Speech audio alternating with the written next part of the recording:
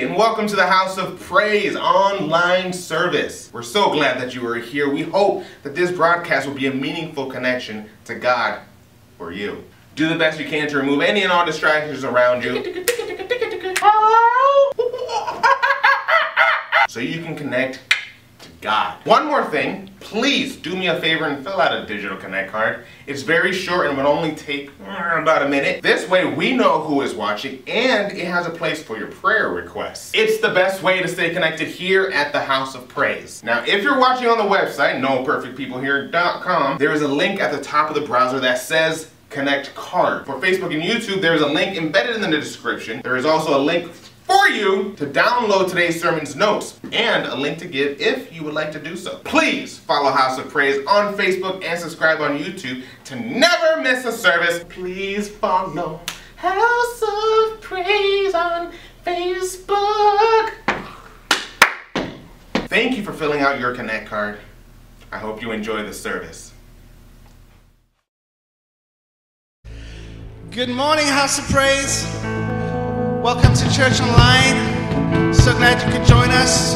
Wherever you are, we're just going to have a great time in God's presence. Let's just sing together. and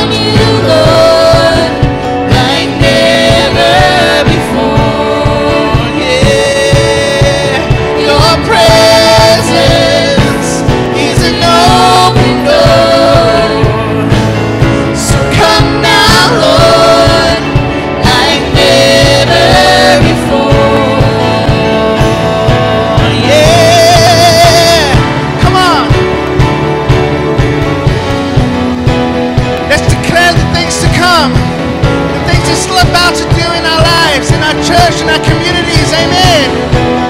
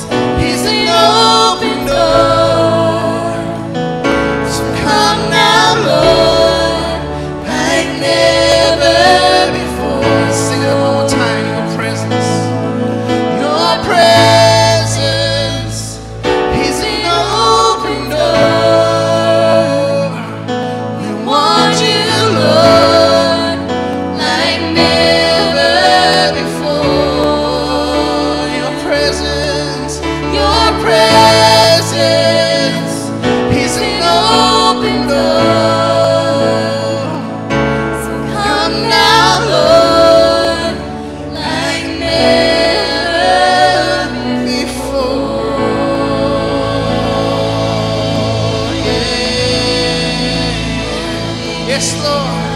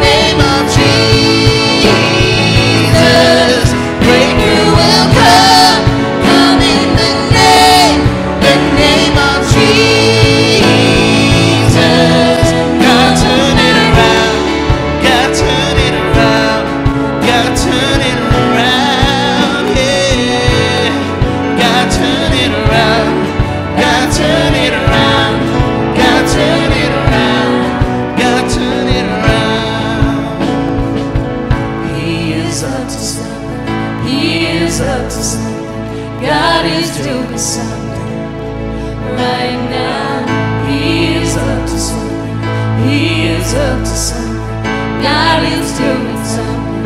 Oh, right now, He is healing someone, He is saving someone, God is doing something. Right now, He is healing someone, He is saving someone, God is doing something.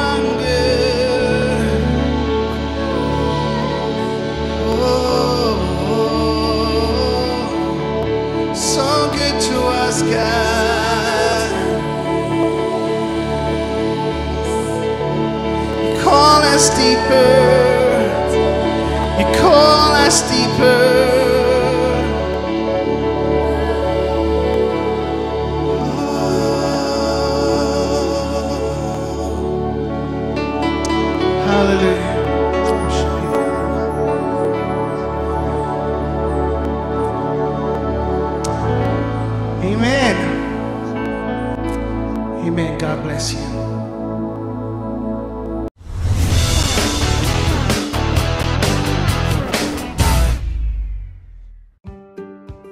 Have you ever considered that there are just some things that are better together? Peanut butter and jelly, hammer and nails, day and night. Although these things are good by themselves, together they are so much better. And our lives, well, they're not all that different. We can live life alone, but it's better together, side by side, shoulder to shoulder, hand in hand. We are designed to live life together.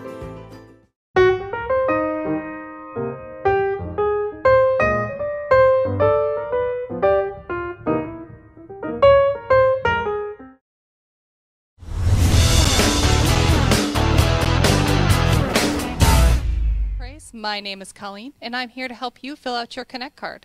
If you're watching on the House of Praise website, noperfectpeoplehere.com, just go to the right hand corner and click Connect, and the Connect card will pop up for you.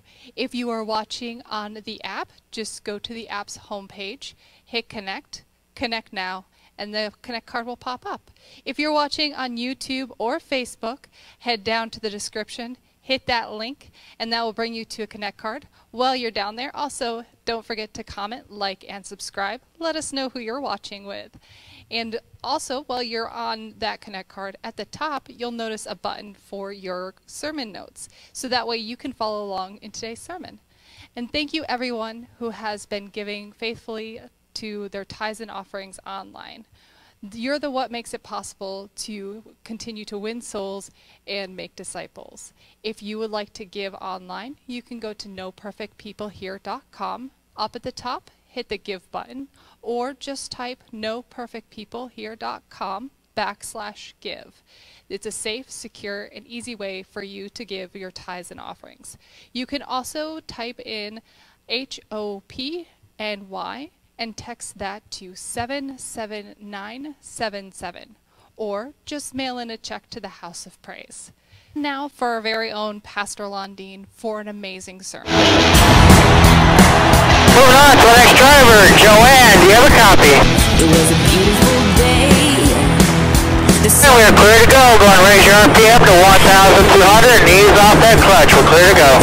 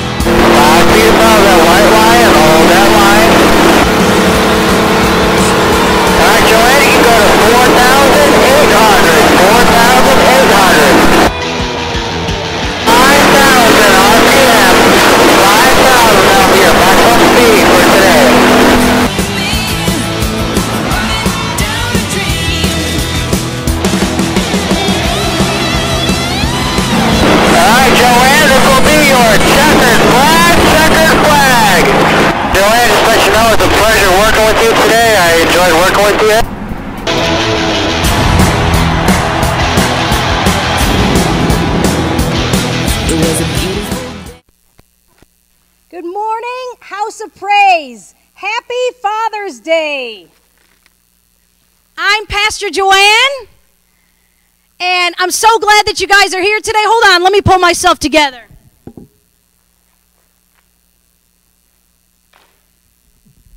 I am here to preach to you today on Father's Day. I'm sure that you are wondering why it's me and it's not Pastor Lon.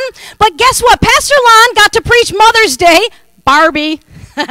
but I am going to preach today about the fast and the furious. I don't know why they decided for me to preach it. No, actually, I begged to preach it. I love the fast and the furious. I love speed. Any of you who knows me knows that about me. Listen, we've been preaching some really heavy topics lately with racial reconciliation. We've been preaching about um, the essential Jesus. And so this week I thought I would lighten it up a little bit and preach about lessons from the racetrack, which is, uh, you know, the Fast and the Furious. I don't know how many of you have seen the movie. I love the movie. I love speed. So let's pray today as we begin to start this new series and, and this Father's Day. Lord, I thank you for this time together. I pray, God, that you would touch our hearts, that you would change us by the preaching of your word. I pray that your anointing, your presence would come and fill each room, each house. Lord, as your word goes forth, I pray that you would be there, God, and I pray you'd speak truth to us today in Jesus' name. Amen. So listen, I know that a lot of times uh, life passes us by, it speeds by quickly, but the Bible says that our life is like a vapor. Man, it's gone quickly. And sometimes we get on this racetrack and sometimes we, we, we, we lose focus. And so I um, just recently, uh, actually I say recently, but probably a, a year or two ago, I was given a gift to go to Charlotte and to ride on a professional racetrack really really awesome it was so much fun and um, and so I, I i was as i was thinking about this series i was thinking what are some of the things that stood out to me as i was learning about racing in the car and and i want to take some of those things and bring them to you and teach you a few things of a few lessons that we could learn from the racetrack. And so the memory verse for this series is this. First timothy chapter 6 verse 11 says this Pursue righteousness and a godly life, along with faith, love, perseverance, and gentleness. Listen, there are things that we need to pursue. There are things that we need to go hard after. We need to put our foot to the put to the to the metal, our, our, the pedal to the metal, and we need to go hard after the things of God and go hard after these things. And so, listen. Um, when I was in the car, uh, before actually before I got in the car, there's a whole training that goes on. There's a whole bunch of things that they prepare you for and they get you ready for. And so, um, as they do it, one of the first things that they talk about is listen, it's very important to pay attention. And so, uh, you know, it, it, it, they say this to you it's important to stay in your lane. And, and they say it, you know, that's an expression that we hear nowadays. Stay in your lane, stay in your lane. And talking about, you know, what you're calling, what you're gifting, stay in your lane. But this is a little bit different. This stay in your lane is talking about, look at their sidelines. And they're saying you need to not cross over those sidelines, but you need to stay in the middle of the road, stay far from them. Man, it was a little nerve wracking because they said if you drive on this white line on the side of the road, you will. Um, slide off the road, you will spin out and you will crash. That was enough for me to say, I'm going to pay attention. I'm going to pay careful attention to that sideline on the road. But listen, the Bible says the same thing to us. There are sidelines that God has set up for our lives to help us to stay in the middle of the road and to help us to not swerve off, spin off, end up in a crash, and end up in a ditch. How many of you have had that happen in your lives before? Man, I really messed this up. I really did some things that I shouldn't have done. I got too close to the edge and I end up crashing and I end up in a mess and then I need the Lord to help me out. Listen, stay in your lane so you don't so you don't spin out. And you know, I was reading a devotional that was talking a little bit about pay attention. And it was saying this, it was saying that um, Pay, it's almost like paying attention is a form of currency. It's like, you know, why is that expression pay attention? Because you pay for something that is of value, you pay of something that's of importance. And, and Solomon in the book of, of uh, Proverbs is continually saying, listen to wisdom, Pay attention to wisdom. Pay attention, son. I have some things I want to teach you. And in Proverbs chapter 2, verse 2, it says this Tune your ears to wisdom and concentrate on understanding. In other words, pay attention. He's saying, listen, I want you to pay attention to your investments. I want you to pay attention uh, when you're when you're deciding on things, when you're making decisions. I want you to pay attention to your money, pay attention to your family, pay attention to your relationships, pay attention to sin. He's constantly saying, pay attention because once you lose your attention, once you lose your focus, you start to slide over to that line. You get closer to the line, and before you know it, you're spinning out and you're in an accident. Uh, if you read Psalm 119, I want to encourage you this week. Read this psalm. I, I love Psalm 119. It's the longest chapter in the whole Bible.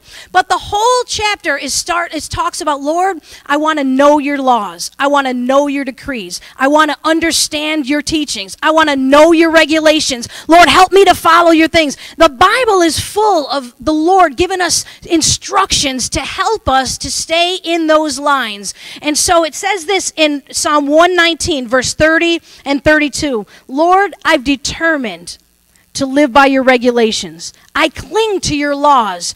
I will pursue your commands, for you expand my understanding.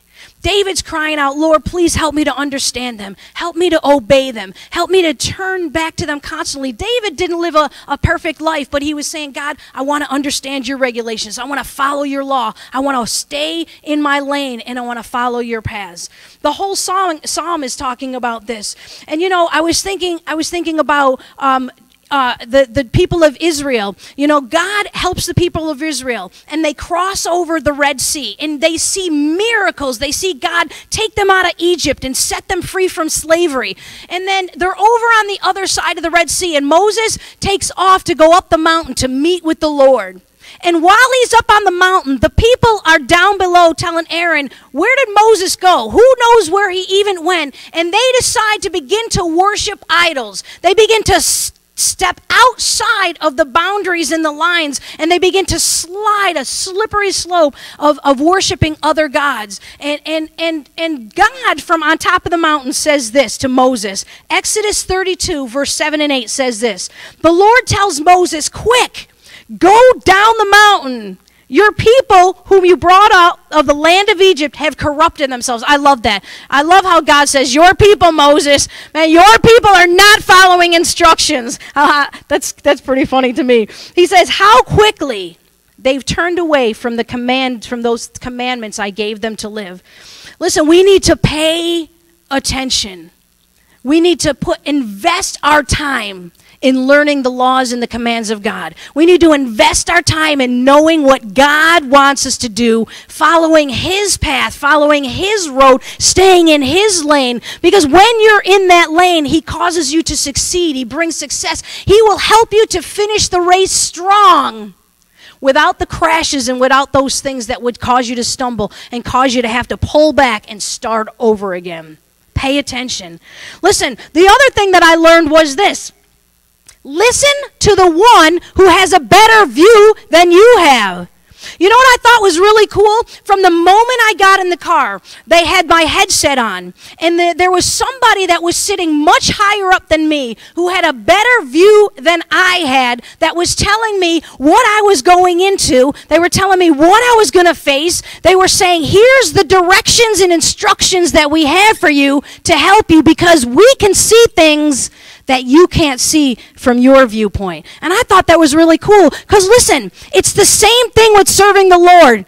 The Lord has a different viewpoint than you have. He sees things better than you see. The Bible says this He sees the past, He sees the present, He sees the future. He already understands all of this. And so there's a guy that's called the team spotter, and his job is to see your blind spots and to call them out for you and to let you know hey, you got a blind spot. Somebody's coming up on you right here. Hey, there's somebody ahead of you. I'm going to give you the word when you can pass him and when it's okay to go by him. Or he's going to say, hey, there's a crash up ahead. I want you to be careful and I want you to get ready to go around him. The Bible, Jesus does the same thing in your life. He's telling you, listen, There's some things I want you to avoid. There's some things in your path. There's some curves that are coming, and I don't want them to cause an accident or a mess in your life. I, I want to give you a bird's eye view and let you know I see what's going on, and I understand it, and I'm not surprised by it. And I'm going to get you around that thing, and I'm going to help you if you'll keep your ears tuned in to what I'm saying and not try to do things your own way. Come on, that's good stuff. Amen. That's pretty awesome. And so, listen, God is eternal. He sees everything. The Bible says this in Proverbs, uh, verse 15, verse f- chapter 15, verse 3. The Lord is watching everywhere, keeping his eye on both the evil and the good. Man, God's got this. God is watching. He understands and He knows. You ever watch a movie and it's real suspenseful? The whole time you're watching the movie, you're at the edge of your seat and you don't know what's going to happen in this movie. And man, when it really breaks out and you see the real twists and the real plots, man, it shocks you and it, and it, and, and it stirs you. And you don't know how it's going to end until the end of the movie. But guess what? The next time you watch the movie and you invite somebody to watch it with you, you still kind of feel the suspense, but there's something in the back of your mind that knows it's all going to be okay because I already know how this ends. I already know who the culprit is. I already know who caused this thing. I already know how the ending is.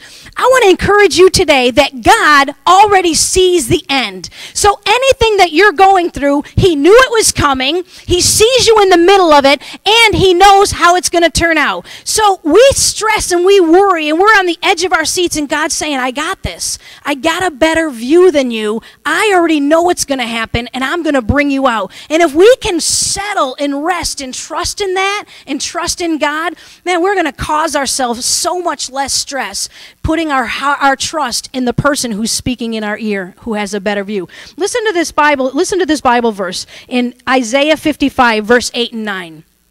God says this, "My thoughts, they're nothing like your thoughts." My ways are far beyond your ways, far beyond anything you could imagine. Just as the heavens are higher than the earth, so are my ways higher than your ways, and my thoughts are higher than your thoughts. It's kind of like when I'm dealing with my children and they want to do something, and I'm like, no, no, no, you don't want to do that. I already know how that turns out, and you're thinking it seems all great, but I can tell you how it's going to end up. You need to listen to me. Sometimes they go do their own thing and they fall, and you pick them back up and say, I tried to help you. God does the same thing with us. He's like, Look, I know and I see my ways and my thinking are so much higher because I have so much higher view than you do. Man, it's hard, but if we can get that into our spirit, that God sees things, He knows He's not shocked by it, He is going to work all things out together for our good because we love Him because He loves us. Amen.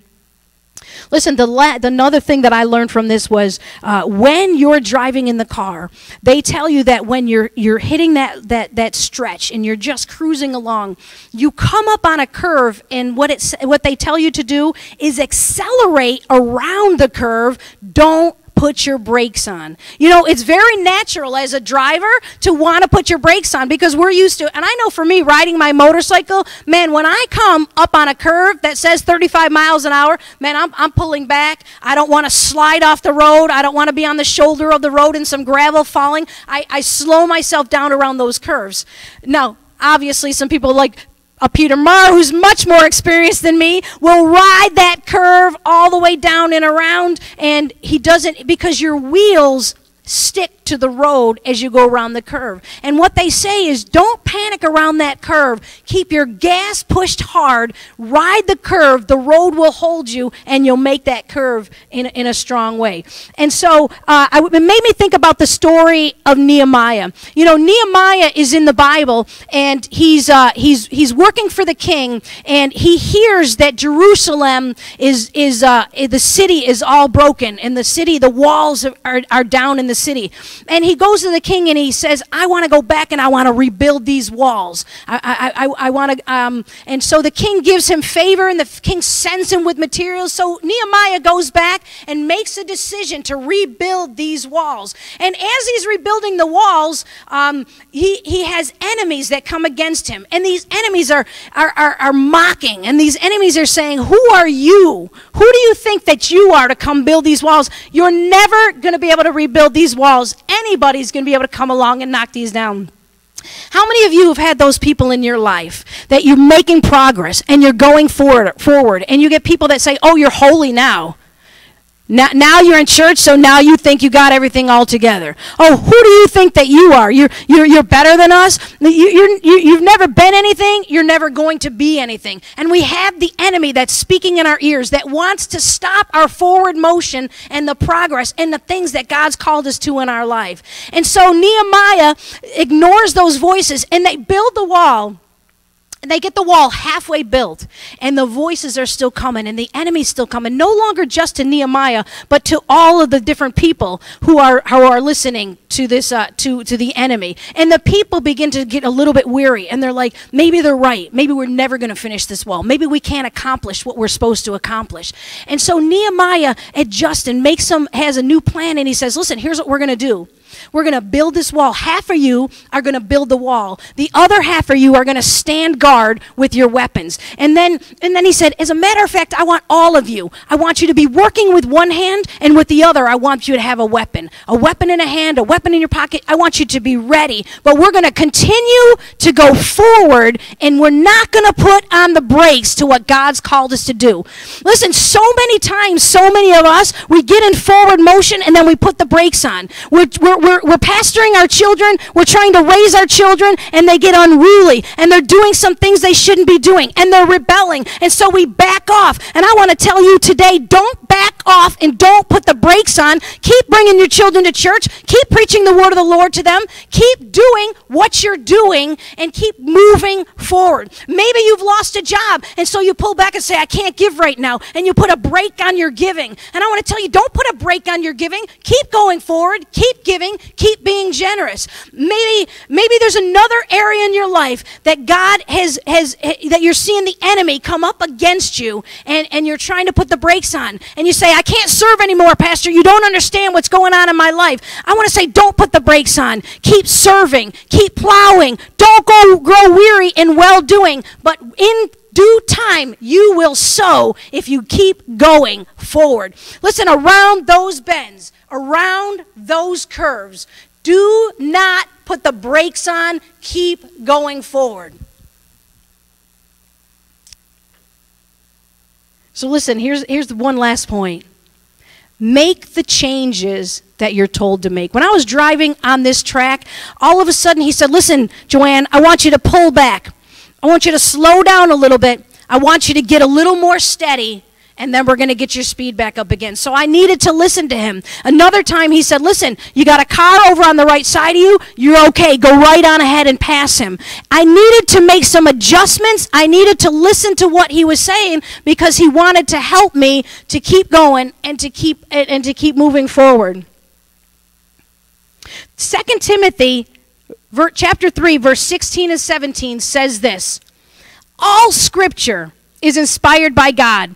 It's useful to teach us what is true and to make us realize what's wrong in our lives. Listen, the Word of God is there to instruct you, it's there to make some corrections, it's there to give direction, it's there to point out some things. I don't know about you, but there are times I'm reading the Word and I'm like, oh, snap, He's speaking to me. Or I'm in church and I'm like, y'all can go home this one's for me right here. And the word of the Lord speaks to you and speaks to your heart. But here's the problem we hear, and then sometimes we leave and we do nothing about it.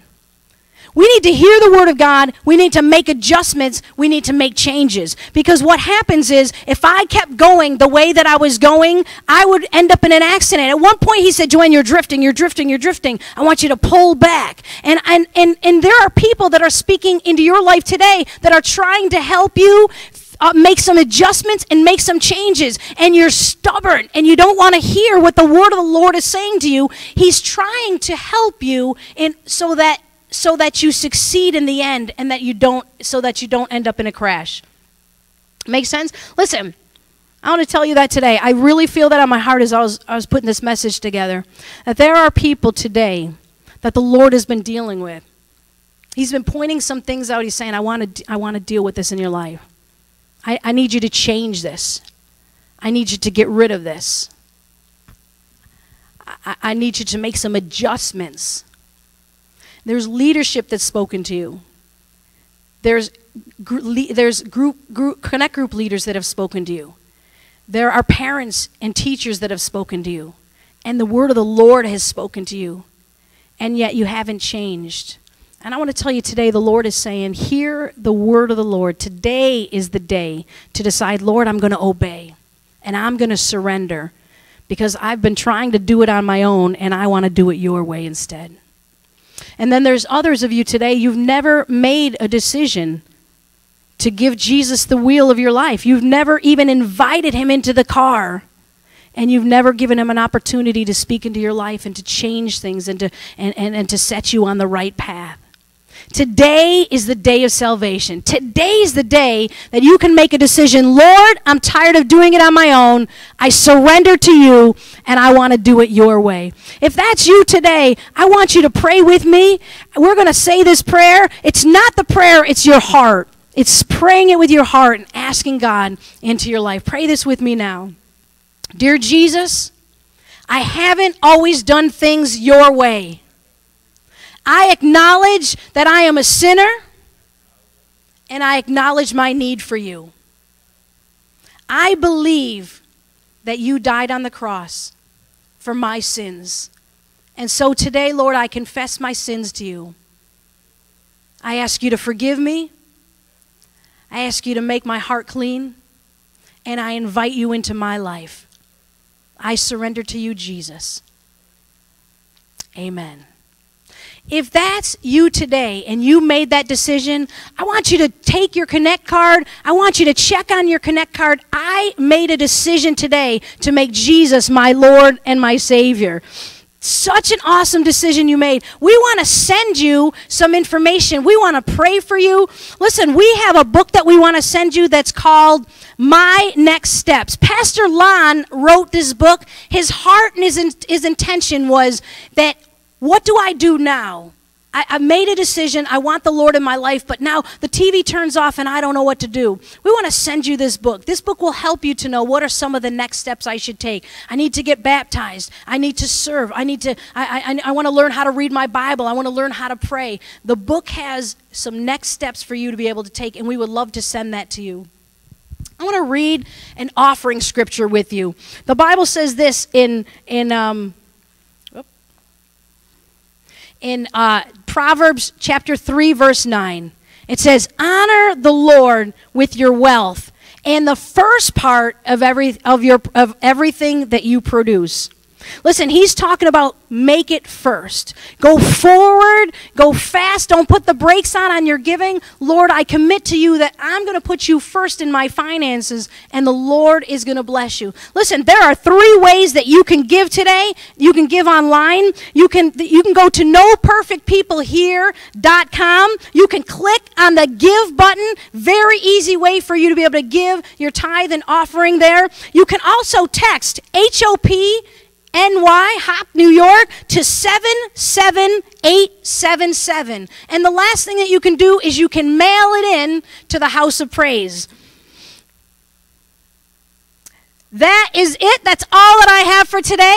God bless you. Happy Father's Day. Thank you so much for joining us today. We love you and God bless you. Again, thank you for attending the House of Praise online broadcast. We hope that you enjoyed the service. If you've accepted Jesus Christ as your Lord and Savior, please add it to your Connect card. That way we can pray for you and send you a free book to help you. If you need prayer, add it to your Connect card. And please, send a link of this service to your friends. And come back next Sunday for another great service. Bye!